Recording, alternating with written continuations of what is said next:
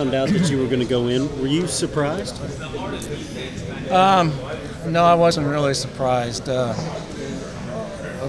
well, a little bit because I had been talked about years before, but uh, there, I'm in communications with uh, a good friend of Hubie Brown's, and I knew that there was a big push to get me in, and uh, that it was a possibility. Was that always something in the back of your mind, like you know, I'd, I'd like to be in the Hall of Fame? No, my, my first thought was I want to be on the my high school varsity basketball team. and then I, I had a little bit of success there. Uh, and then I started thinking maybe I will get to play college ball.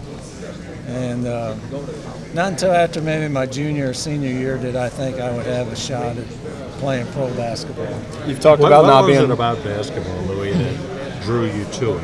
What did you like about it? Did you have to learn to like it, or was it an immediate No, it, it was a sport.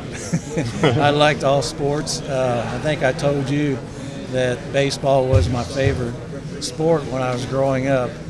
And uh, so I always dreamed of being a professional baseball player from the time I was a little kid uh, rather than being a professional basketball player. Louis, you picked Dan Issel to, to induct you tomorrow. Why Dan? And, and talk about that relationship with, with Dan. Well, he and I were great friends as teammates and roommates with the Colonels, and uh, we've been we just been so close and and stayed in contact and see each other as much as we can since those days. And yeah, we're we're just the best of friends. And I had other choices. I thought about Hubie and Artis Gilmore because we could have three, but uh, I wanted to keep it simple and keep it with, with Dan.